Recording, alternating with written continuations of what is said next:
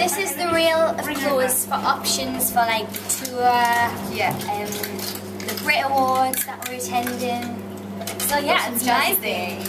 We've got We've got black and gold theme going on in one of the um, um, one of the songs. one of the songs. So as you can see, we've got a lot of gold going on here.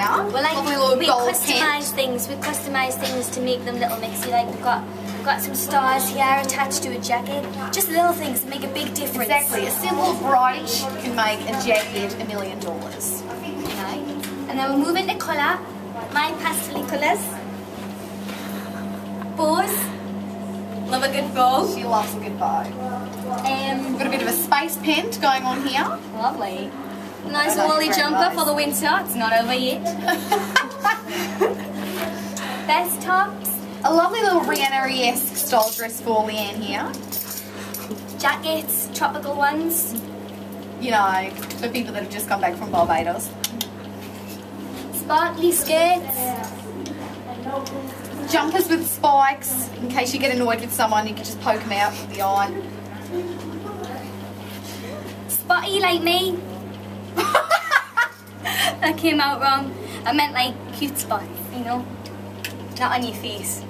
Um, more Oh jackets. wow, this is a bit... See, this is like a Leanne style dress. Fresh Prince, Fresh old Prince, school. Old school. She'll love a bit of that. Love it. Love it. Love it. Trousers.